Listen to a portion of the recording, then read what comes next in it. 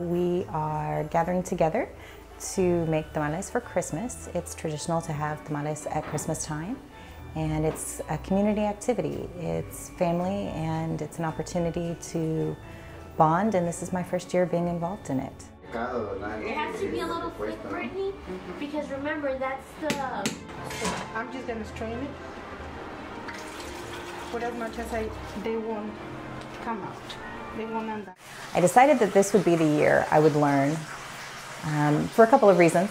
Last year I got the baby Jesus in the rosca and typically, traditionally, that means that you make tamales for the family and I knew I didn't know how. So I know everybody was a little disappointed I was the one with the baby Jesus and not my mother-in-law who makes amazing tamales. So I decided this would be the year that I would get the knowledge.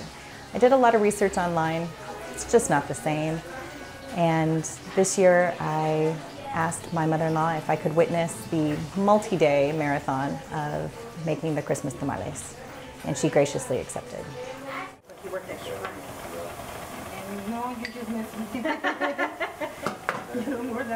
Learning to make tamales has uh, been really important to me. I've been part of this family for eight years and I've always wanted to know. And this year is the year I decided I wasn't going to be intimidated anymore. I was going to learn how to make the mystical tamal. I've been spending about three days making all different kinds with my mother-in-law and sister-in-law and it's been a lot easier learning at hands of experts. All the videos you see online are not the same as learning at the hands of someone who's been making them their whole life. It's been a very special time of bonding with my mother-in-law and sister-in-law. Um, being able to learn something that's so important to family with family and spending the time talking about family stories and the history of making this through the years has been very special.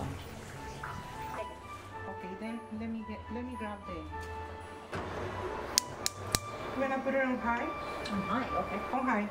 I'm really excited this year to be able to share the tamales with family and friends and be able to claim that I helped make them this year.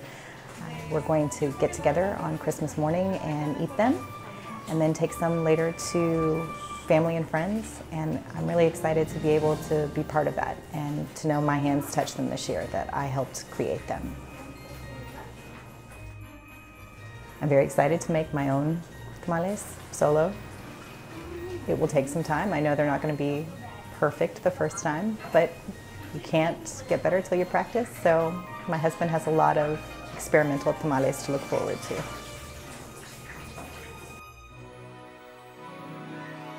My mother-in-law has big shoes for me to fill.